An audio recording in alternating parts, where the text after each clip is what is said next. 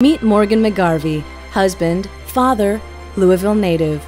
As Assistant Attorney General, Morgan McGarvey fought against price gouging at the gas pump, prescription drug abuse, and internet predators. Now Morgan is running for state senate to keep fighting for our families, to create jobs and invest in our schools. Morgan is endorsed by Auditor Crit Luallen, Senator Tim Shaughnessy, Attorney General Jack Conway, former Senator David Karem, and the Courier Journal. Morgan McGarvey, Democrat, State Senate, May 22nd.